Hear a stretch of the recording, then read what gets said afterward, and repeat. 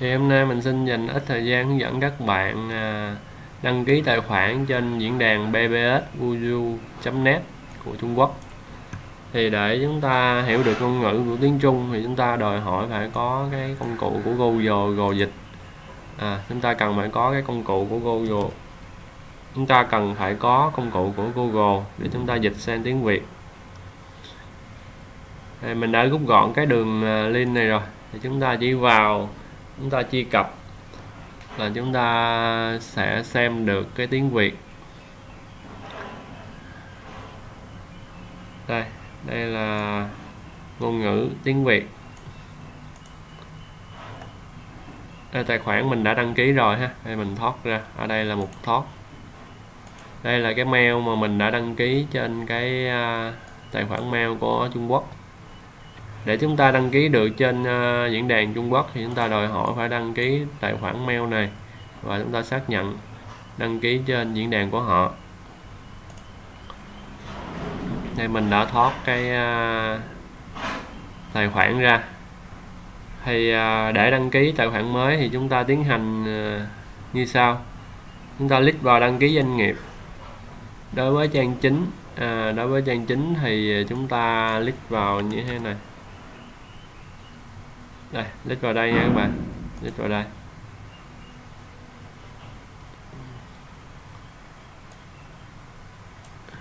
Là chúng ta cần phải ờ, có một tài khoản mail ở trang ờ, qq.com đây là gọi tiếng Việt. Phải đăng ký mail của họ trước thì chúng ta xác nhận đồng ý. Đây là chúng ta đồng ý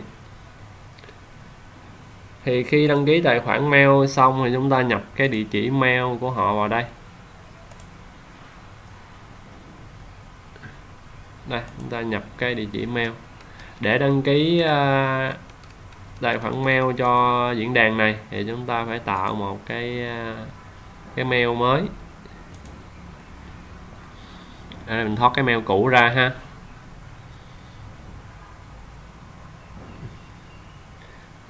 à, rất may là trang ờ, web này nó có hỗ trợ tiếng Anh nên mình cũng đăng ký nó dễ hơn CNN again bây giờ mình vào ờ, trang chủ của nó ha.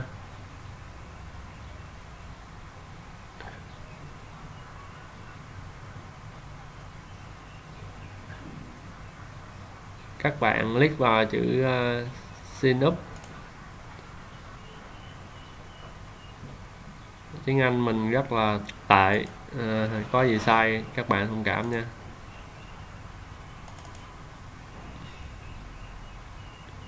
Thì rõ mình sẽ hướng dẫn các bạn uh, tải dữ liệu ở trên uh, trang uh, ban.baidu.com thì chúng ta tiến hành đăng ký mail như sau. Tài khoản mail của chúng ta ở đây có hai cái định dạng đuôi mail khác nhau là postmail.com và qq.com thì khi nó có xác nhận dòng chat này thì chúng ta sẽ không bị trùng tên, thì chúng ta mới đăng ký được. Đây là cái nick của mình. Ở đây là password. Mình sẽ đăng nhập cái password. Đây chúng ta xác nhận lại mật khẩu. À, đây là à, giới tính nam và nữ. À, mình là nam thì mình chọn ô này. Ở đây là năm sinh. Ở đây là cái tháng sinh của mình. Đây là ngày sinh. Ở đây mình à, chọn cái à, quốc gia bạn ở Việt Nam. Ở đây thì nó không cho phép mình chọn à, nhiều cái tỉnh. Nó chỉ có những cái thành phố lớn, Hải Phòng, Hà Nội và Hồ Chí Minh. Thì các bạn ở gần vùng nào nhất thì các bạn chọn cái đó cũng được. Em thích chọn ở Hà Nội hay Hải Phòng tùy các bạn. Ở đây mình nhập cái mã xác nhận. Chúng ta có thể viết thường ha. Sign up now, đăng ký ngay. Rồi tổng quát chung là mình à, như vậy. Nên mình sell mật khẩu lại cho mật khẩu nào không quan trọng mình sell trực tiếp vào trình duyệt web luôn. Ở đây nó sẽ nhắn cái tài khoản qua cái uh, số điện thoại của mình. Các bạn nhớ nhập mã vùng của quốc gia nha. Ở Việt Nam là 0084 số điện thoại chúng ta bỏ số 0 đầu tiên của mình là mã à, Vina 091 thì mình bỏ số 0 là 918028207 rồi bắt đầu mình send gửi mã. Khi điện thoại chúng ta xác nhận nó sẽ gửi tin nhắn cho chúng ta trong vài giây.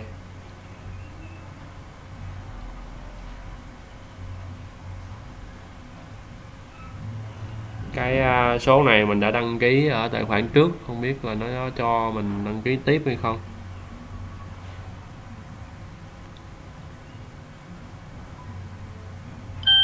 Rồi, mình đã nhận được tin nhắn.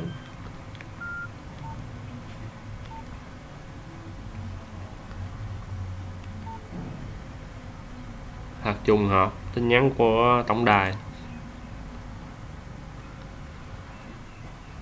Mình gửi lại nha các bạn. Đây. Là 982021 982021 rồi mình bắt đầu uh, submit xác nhận. Ok thành công. Đây là cái uh, tên mail cũng như là cái mã mà của mình các bạn nhớ là chúng ta, cái mã này chúng ta giữ lại ha. Chúng ta để có thể mà chúng ta khôi phục hay để chúng ta khiếu nại cái gì đó. Rồi chúng ta bắt đầu đăng nhập mail login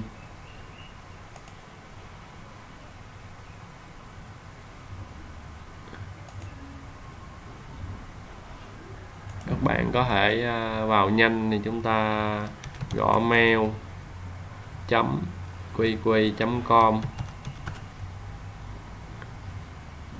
Các bạn muốn vào nhanh thì các bạn gõ địa chỉ mail và các bạn à, đăng nhập vào ha.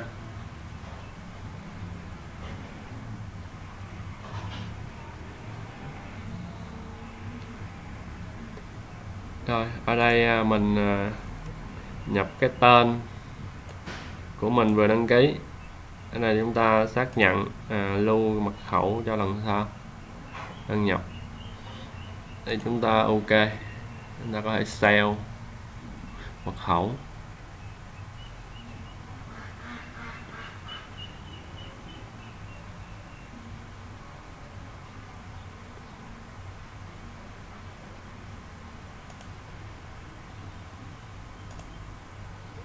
Trong quá trình làm việc, các bạn cũng nên mở Task Manager chúng ta xem ờ, cái tiến trình hoạt động của ổ đĩa nè RAM nè, CPU nè. Coi nó hoạt động như thế nào để chúng ta nghi ngờ là những cái tiến trình do virus nó làm ảnh hưởng. Như máy mình có khả năng nó đang nhiễm virus trình duyệt virus nó đang load CPU tới hai mấy phần trăm. Thì mình uh, test rất là nhiều ứng dụng nên uh, có thể khả năng là nó nó đã bị nhiễm virus. Thì ở đây có một cái mail mới đang gửi đây. Đây của trang chủ nó gửi cho mình trang chủ mail nó gửi nếu chúng ta không hiểu ờ, cái nội dung đây thì chúng ta copy cái tên. Và chúng ta chuyển qua cái trình duyệt cốc cốc hay Chrome ha, để chúng ta dịch hoặc là chúng ta dùng cái Google dịch.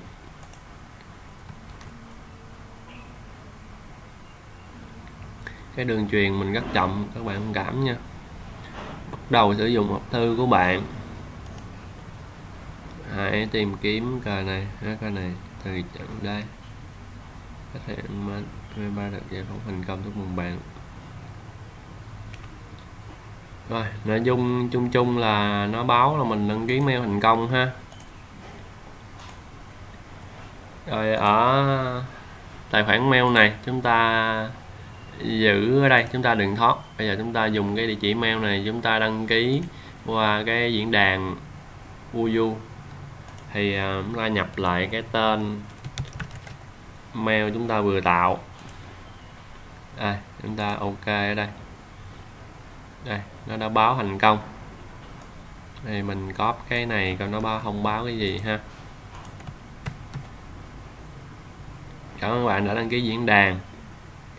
Thì nó đã gửi cái à, một đường dẫn xác nhận qua cái mail của mình. Thì chúng ta vào vào cái mail chúng ta xác nhận xem đây có một cái mail mới gửi đây. Đây là cái ờ, tên của ban quản trị của họ. Mình ờ, cũng không cần thiết phải dịch đâu. Các bạn chỉ click vào cái đường link này là được ha. Click vào đường link này chúng ta là xác nhận đăng ký thành công.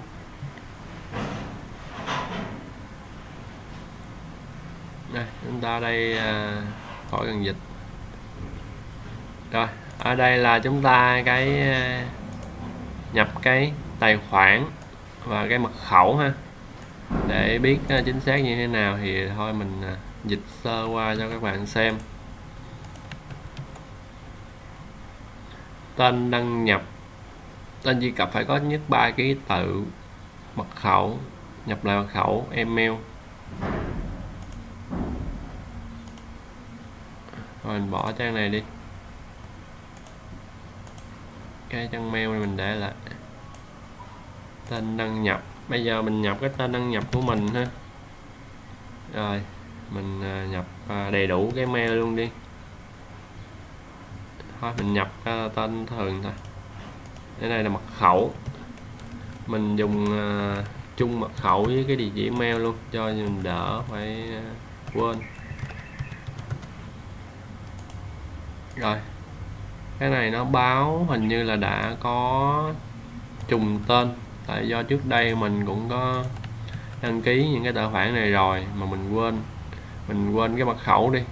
Với lại nó hơi rắc rối. Sau này nó bắt mình phải đăng ký qua cái tài khoản mail của QQ á. Nên uh, bây giờ nó nó nhiều cái điều kiện nó ràng buộc hơn bây giờ mình sẽ đăng ký với cái tên khác ha. Tên này mình hay dùng, bây giờ mình đổi cái tên khác đi. Ha giờ giờ về.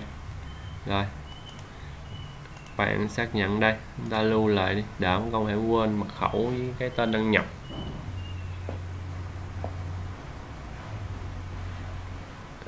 Rồi, chúng ta xác nhận ha. Đây, cho nó lót. Nó báo là thông tin gì đây?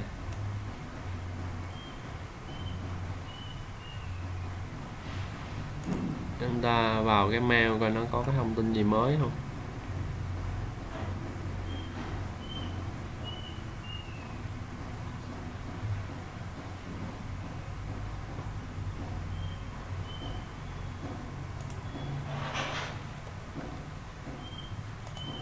Mình click lại đi ha. Mình copy lẹ xíu. Rồi. Mình qua đây mình dịch. Địa chỉ IP của bạn không được đăng ký trong vòng 240 giờ. À, là do mình mới đăng ký tài khoản vừa rồi.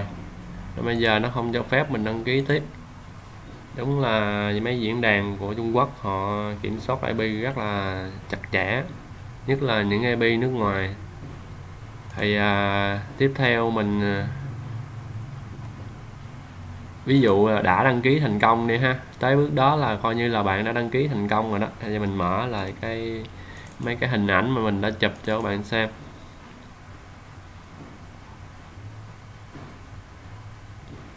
À.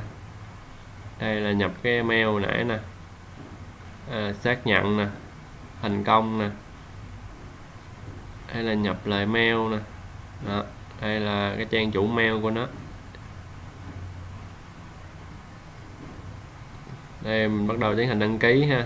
Rồi, click vào. Đây, nhập cái địa chỉ mail. Nó hiện thông báo.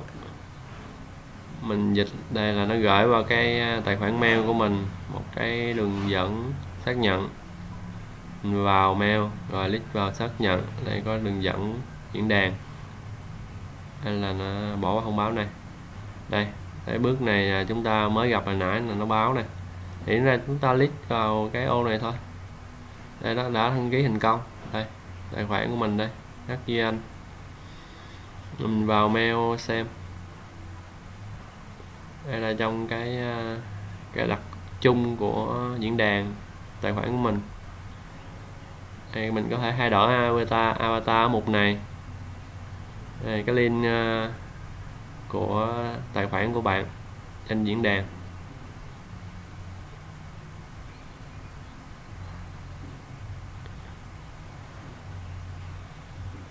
Nè là vậy là xong ha các bạn.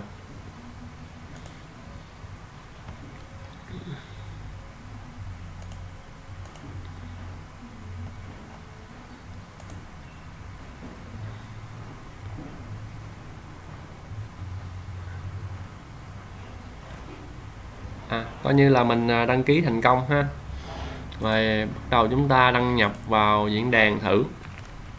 Đây mình F5 cho nó mất cái tài khoản cũ đi. Rồi, bây giờ mình đăng ký vào cái tài khoản mà mình đăng ký trước đây. Mình đã lưu mật khẩu rồi. Đây là lưu mật khẩu trong lần đăng nhập tiếp theo của cái trang chủ này. Rồi, chúng ta ok. Rồi, đây là chúng ta vào ha. Vào cái diễn đàn của họ thì chúng ta có thể bình luận như thế nào đó thì nó cũng giống giống những cái diễn đàn ở trong nước mình thôi. Mình ví dụ à, đây. Cái cái đường đây, cái trang cuối cùng đây là cái phần mà chúng ta gõ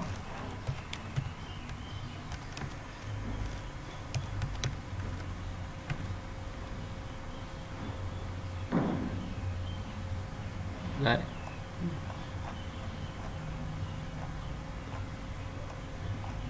ừ. à, mình xin tạm dừng tại đây.